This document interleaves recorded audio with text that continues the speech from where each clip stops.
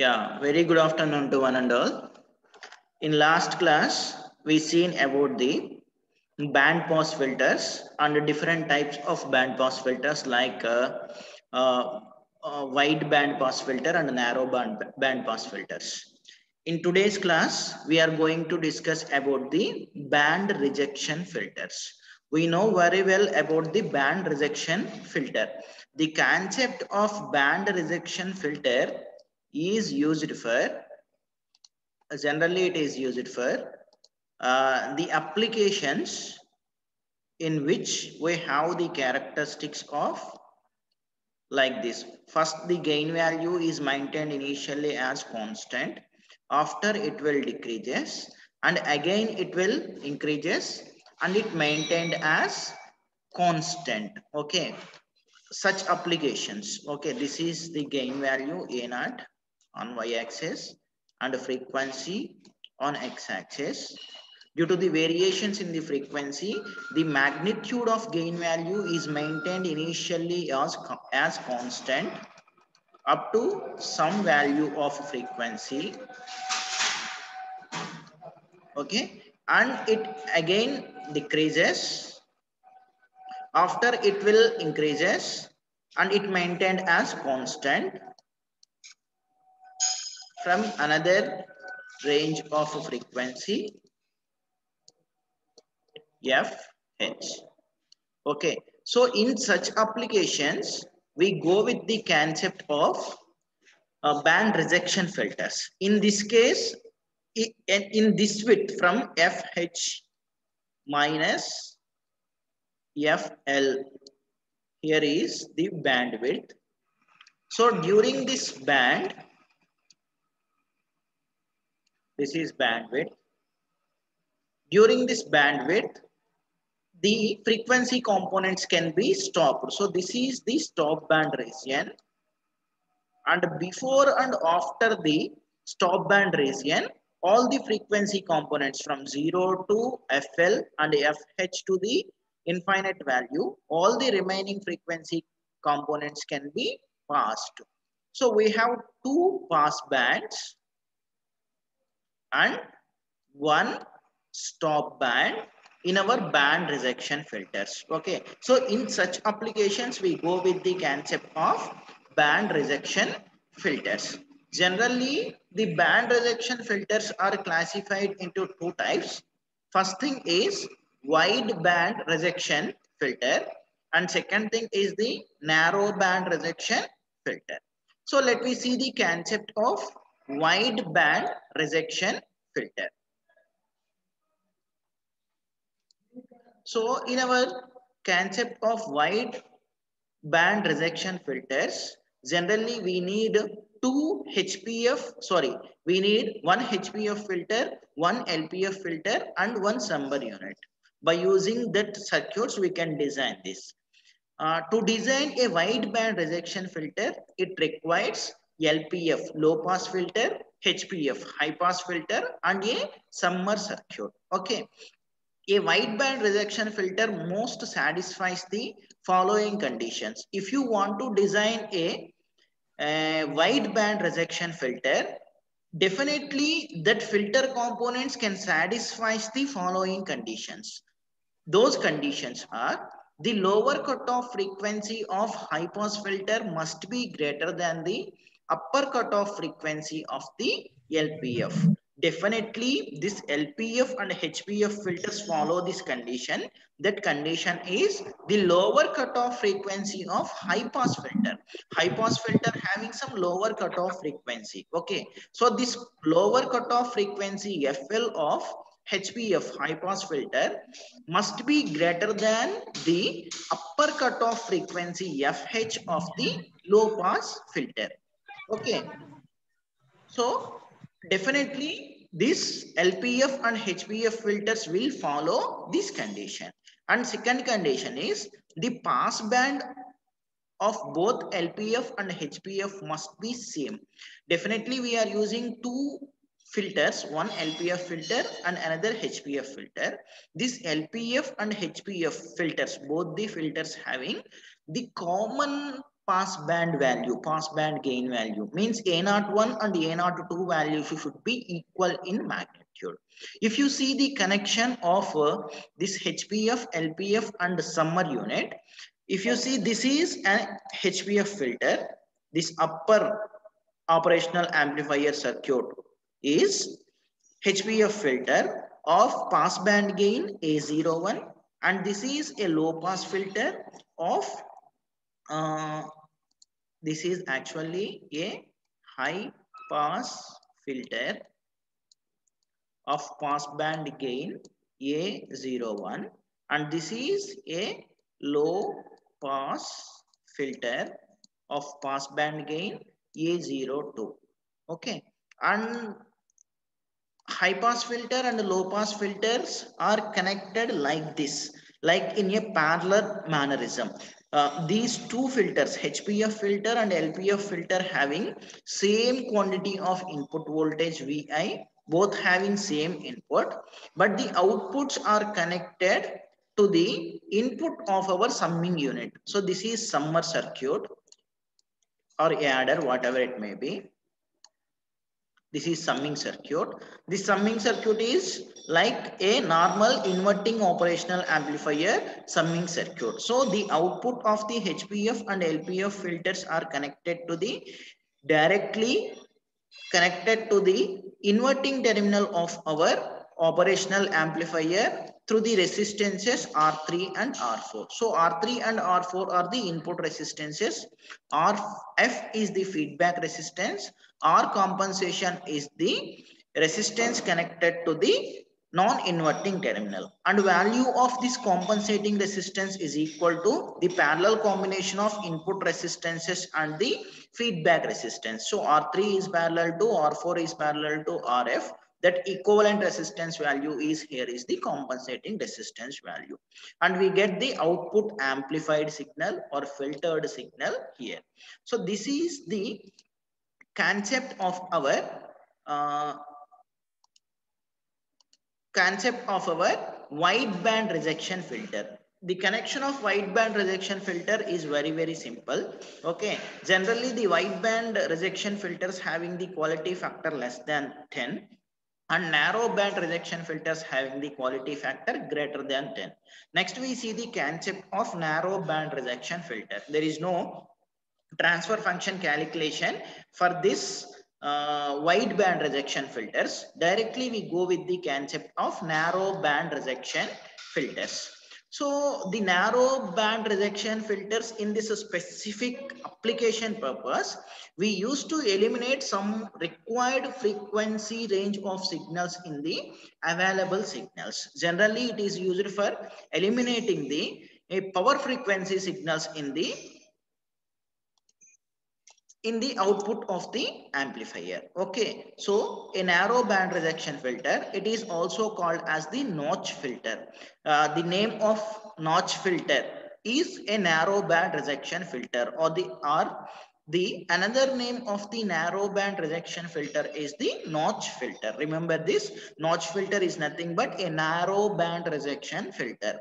Okay, the notch circuit filter sorry, the notch circuit filter circuit to reject a single frequency component such as 50 Hz power line frequency components. Generally, these notch filters or narrow band rejection filters are used to eliminate a single frequency components in a band of or some range of frequency components. Okay, generally this is used to eliminate the power frequency signals of a 50 Hz component. Okay, generally 50 Hz signals are our electrical power signals. Okay, so to eliminate electrical power signals in the required uh, data or required signals, we use a notch filter. Okay, so to design a notch filter, we have two types of techniques. Generally in designing of notch filters we have two techniques. The first technique is very very simple thing. In this technique what we'll do is uh, we are subtracting the output of the narrow band pass filter. Here we get a narrow band rejected filter from the circuit diagram of narrow band pass filter by subtracting the output of narrow band pass filter from the input, we get a narrow band rejection filter output. Okay. So to getting this narrow band rejection filter output, we are subtracting to get this specific output, we are subtracting the output of narrow band pass filter from the input of the narrow bandpass filter. Finally, we get the output of narrow band rejection filter output. Okay, the output of the this specific circuit is the output of the narrow band rejection filter. Okay, how can we get this specific output of narrow band rejection filter is from the narrow band pass filter. I am just subtracting subtracting here this is a summer summing unit. For summing unit we are applying the two signals. One is the output of the narrow band pass filter and another one is the input of the narrow band pass filter. So by subtracting the output of the narrow band pass filter from its input we get the output of the narrow band rejection filter. Okay, so the, sim the simple way to design a narrow band rejection filter is to subtract narrow band pass filter from its input. The schematic for narrow band rejection filter is shown in the below figure. I am replacing this narrow band pass filter with the second order narrow band pass filter whose transfer function is minus A naught omega naught alpha into S divided by S square plus alpha omega naught into S plus omega naught square. So this is the transfer function of second order narrow band pass filter. So by subtracting this output of the narrow band pass filter from its input, here input is Vi of S. Uh, the constant gain value is A naught. So the input is A naught into Vi of S. So by subtracting this output of the second order Butterworth filter from the input, we get finalized output V naught of S. This is the output of the narrow band rejection filter. Okay. So uh, this is the diagram and this is the output signal V naught of S is equal to input value A naught into V of V of S minus this value minus a naught into v naught into alpha s into v i of s this is actually transfer function transfer function into input will gives the output here okay so for getting output i am multiplying this transfer function with v i of s also divided by s square plus alpha omega naught into s plus square any problem Naveen? Hmm? Naveen, any problem? Okay. Ah, yes, this is the output uh, signal V naught of S expression. This simple diagram, circuit diagram of this uh, narrow band rejection filter is for narrow band rejection filter, we need a narrow band pass filter. So this is our narrow band pass filter circuit uh, this is similar to that of our infinite gain multi-feedback amplifier. If you see this is an infinite gain multi-feedback configuration of band pass filter.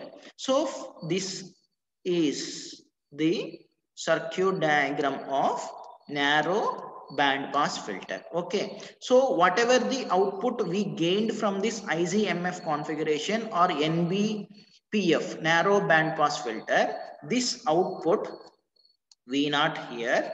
Okay. This is subtracted by the input. Input of our uh, narrow band pass filter Okay, both are applying to the summing circuit. This is the summer, summer of operational amplifier. Then we get the output. Okay, so this is the circuit diagram of our notch filter or narrow band rejection filter simple circuit diagram representation okay and the output voltage expression we derived already in already v naught of s is equal to a naught into vi of s minus a naught into omega naught into alpha s into vi of s divided by s square plus alpha omega naught into s plus omega naught square. This is from block diagram reduction technique. Okay. And next if you simplify these expressions uh, V naught of S is equal to by taking A naught into VI of S as common in these two upper two terms, we get 1 minus omega naught into alpha S divided by S square plus alpha omega naught into S plus omega naught. Okay. And I would like to represent this expression as in terms of transfer function transfer function of any system will represented with h of s. h of s is equal to Laplace transform of output voltage to the input voltage. So V naught of S divided by VI of S is equal to, if you take this input voltage VI of S into the LHS side, the remaining terms are A naught into, uh, I am taking LCM also, S square plus omega naught square this alpha omega naught s minus alpha omega naught s will get cancelled in the numerator and the denominator terms are this polynomial s square plus alpha omega naught s plus omega naught square. So the above expression is the transfer function of the narrow band rejection filter. This is the first type of narrow band rejection filter. The first type of narrow band rejection filter is very, very simple thing. We get this circuit diagram by subtracting the output of narrow band pass filter from its input by subtracting the output of narrow band pass filter. With input we get a narrow band rejection filter. And this is our circuit diagram. Okay and next. Okay sorry for the disturbance. Uh, okay. Uh, this is the simple circuit diagram of our narrow band rejection filter uh, first simple circuit diagram and second type of narrow band rejection filter is twin-T notch filter. Okay, twin-T notch filter. Okay, if you see this twin-T notch filter, this is somewhat uh, a complex circuit for seeing. In this circuit, we use three number of capacitors and five number of resistors okay and two additional operational amplifiers the operational amplifiers here are connected in uh, forward and reverse directions. This is forward direction and this is reverse direction. Here I am taking the input signal VI that is applied to this circuit diagram. This circuit consisting of two capacitances, two resistances. At mid we are tapping another resistor and another capacitance. Okay, these two capacitances having same magnitude these two resistances having also same magnitude. But the tapping resistance and tapping capacitances are the tapping capacitance value is two times this capacitance value and tapping resistance value is half of this value. Okay. And and this circuit is uh, okay. This terminal this common terminal is connected to the non-inverting terminal of the operational amplifier this operational amplifier or unity feedback operational amplifiers, negative unity feedback operational amplifiers. Okay. And the output is again fed to the tapping terminals through the another operational amplifier. Okay. This operational amplifier is also a unity negative feedback operational amplifier like a buffer circuit okay and r1 r2 we have this is the circuit diagram. You have to remember this circuit diagram which consisting of three capacitances and five resistances. with two buffer circuits. Okay, the input of the buffer circuit is from this capacitor and resistor circuit and the output of this buffer, another buffer circuit is also connected close uh, connected in a closed loop mannerism at this tapping points A and B. Okay, if you see the number of nodes available in our circuit are main important nodes are this is node A, this is node B and this is node P.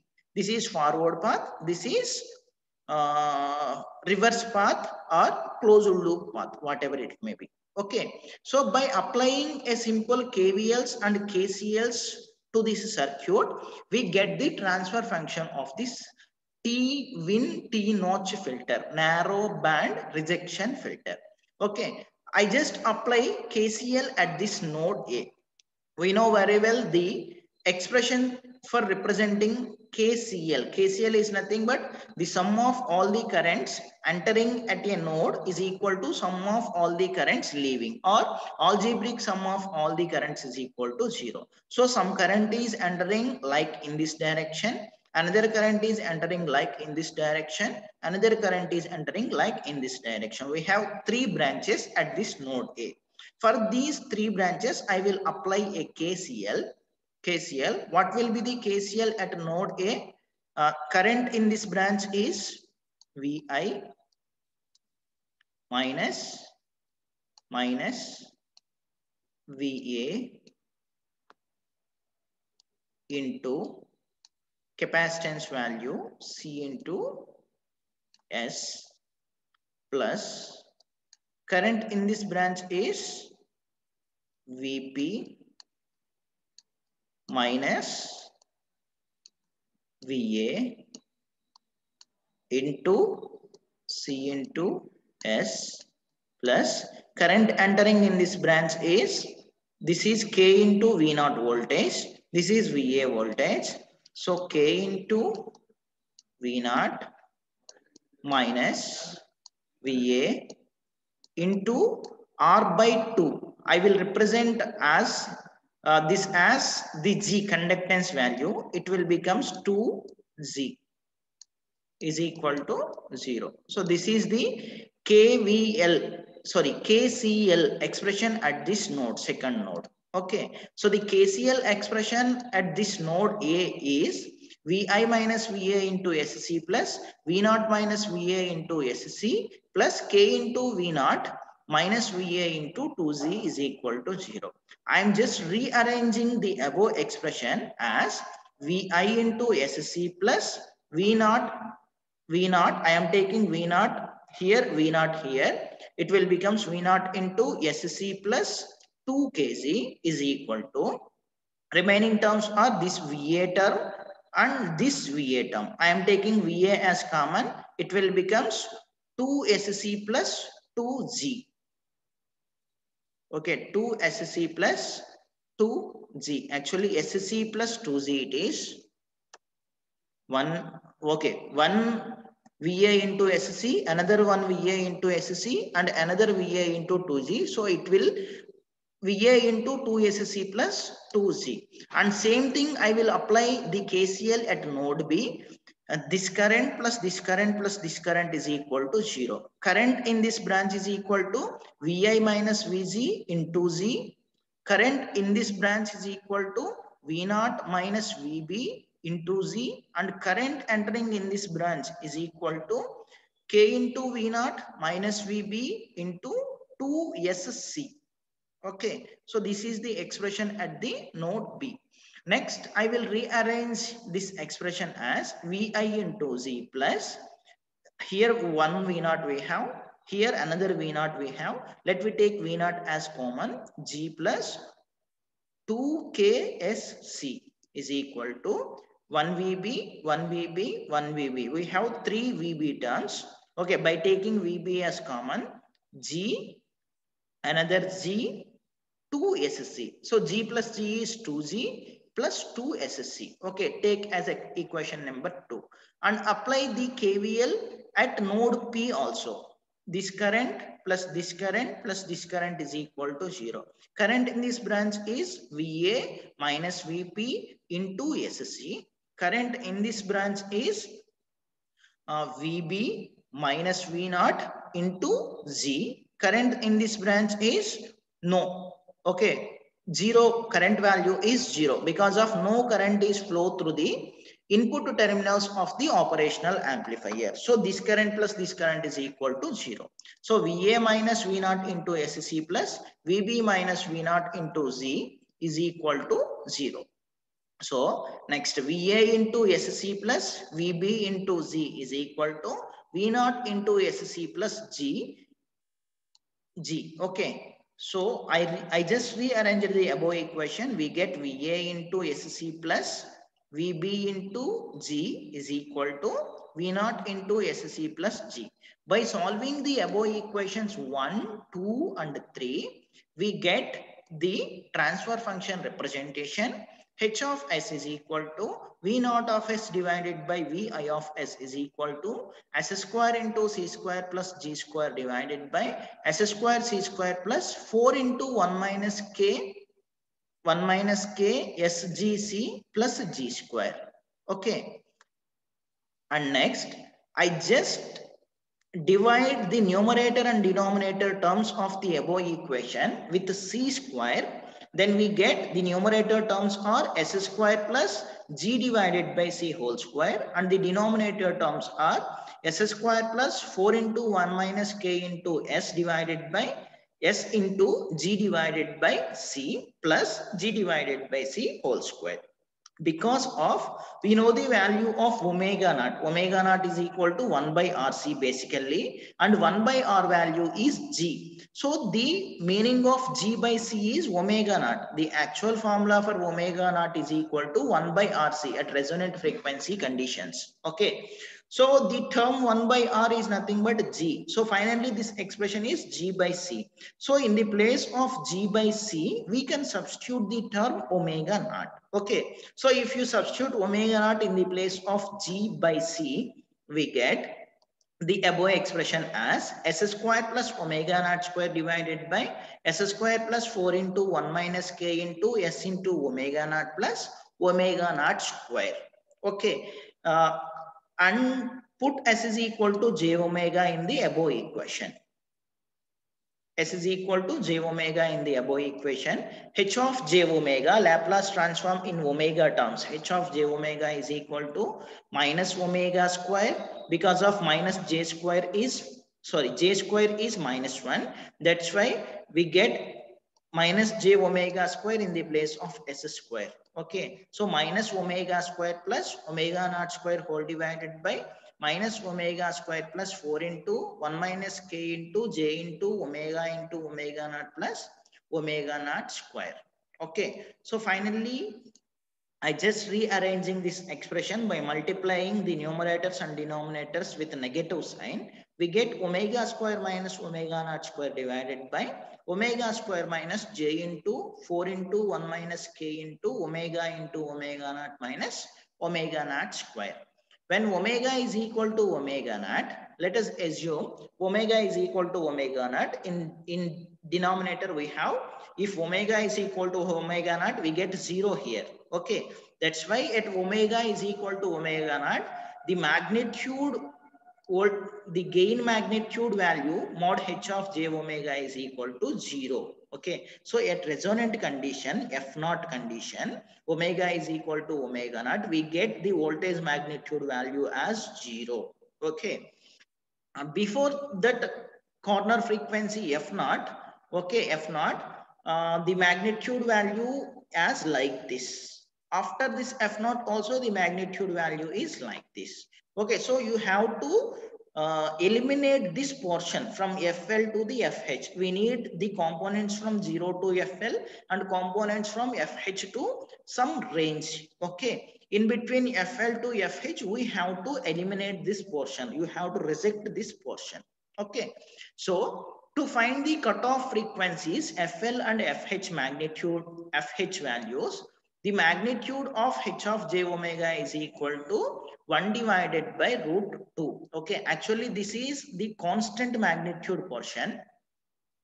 This is the constant magnitude portion and this also constant magnitude portion. After constant magnitude portion, it will slowly decreasing like this and reaches zero. Again, slowly increasing like this and reaches the constant magnitude portion. Okay. So the allowable frequencies are 1 by root 2 terms of the maximum value of components. Okay. If the magnitude value is decreasing uh, further, further it will, if the magnitude value is less than this root 2 times of maximum value, we have to eliminate those components. Okay. So the allowable components are whose voltage gain magnitudes are either maximum or in between maximum to 1 by root 2 times of the maximum only. So for getting this corner frequencies FL and FH, at FL and FH, the magnitude value is just 1 by root 2. If you assume the maximum magnitude is 1, at this place it is 1 by root 2 or 0 0.707, whatever it may be. So at the corner frequencies, the magnitude of h of j omega is equal to 1 by root 2 value. So uh, let you substitute that value h of j omega is equal to 1 by root 2 in place of this transfer function. Actually transfer function h of j omega is equal to this thing. Magnitude of transfer function is omega square minus omega naught square divided by square root of omega square minus omega naught square whole square plus 4 into 1 minus k into omega into omega naught whole square is equal to 1 by root 2 Next, simplify this expression by applying square root on both sides. If you apply square roots and cross multiply the equation, above equation, we get this root to 2 square becomes 2. So 2 into omega square minus omega naught square whole square is equal to square and root will get cancelled for the denominator. We get omega square minus omega naught square whole square plus 4 into 1 minus k into omega into omega naught square. Okay. So finally, we get expression as this thing omega, omega square minus omega naught square whole square is equal to 4 into 1 minus k into omega minus omega naught whole square. This square and this square will get cancelled. Omega square minus omega naught square is equal to plus or minus 4 into 1 minus k into omega into omega naught. Okay. Next, uh, divide the above expression with omega naught square on both sides.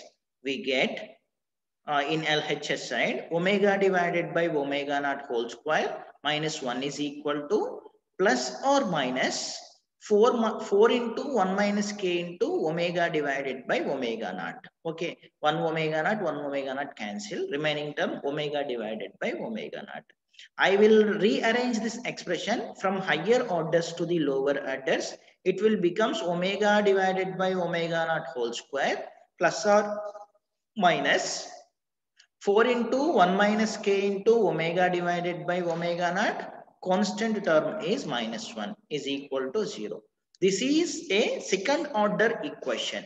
Okay, the roots of second order equation we know very well minus b plus or minus square root of 4ac divided by 2a. So by solving the above expression, we get the roots of the above expression w divided by w naught values of the expression are w divided by w naught is equal to square root of 1 plus 4 into 1 minus k whole square plus or minus 2 into 1 minus k. The, this is the two values plus in middle if you put a plus sign we get some value. In middle you put a minus sign we get another value. Okay. So this is the omega divided by omega naught equation or the values. If you substitute omega is equal to 2 pi f in this expression because of angular frequency omega is equal to 2 pi f. We get uh, 2 pi f divided by 2 pi f naught. 2 pi 2 pi will get cancelled. Finally, we get f divided by f naught value is equal to square root of 1 plus 4 into 1 minus k whole square plus or minus 2 into 1 minus k. I will take this f naught term in RHS side f is equal to f naught into this expression. Our intention is you have to find the formula for FL and FH, lower cutoff frequency and higher cutoff frequency. So we get this lower and higher cutoff frequencies by taking this signs. If you take a positive sign, we get higher magnitude of frequency. If you take a negative sign, we get lower magnitude of frequency.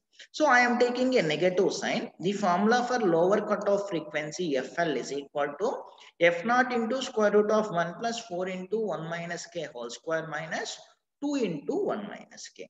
If you take a plus sign, we get higher cutoff frequency fh is equal to f naught into square root of 1 plus 4 into 1 minus k whole square plus 2 into 1 minus k. Okay, this is lower cutoff frequency. This is higher cutoff frequency. Then ultimately you can able to find the bandwidth because of the formula for bandwidth is uh, fh minus fl. So fh minus fl. So subtract this formula, subtract the FL formula from FH formula, we get this term and this term will get cancelled. Uh, and F naught is common thing. 4 into F naught into 1 minus K. This term, this term will get cancelled. The remaining thing is 4 into F naught into 1 minus K only. Okay. And quality factor, we know very well the formula for quality factor is F naught, corner frequency divided by bandwidth. So F naught divided by bandwidth formula is 4 into F naught into 1 minus K. F naught, F naught will get cancelled. We get 1 divided by 4 into 1 minus K, where K is, where K is R2 divided by R1 plus R2. Okay, if K is equal to 1, if K is equal to 1 in this expression k is equal to 1 1 minus 1 is 0 means the bandwidth value. 1 minus 1 is 0 means bandwidth value is 0 and quality factor value is infinite.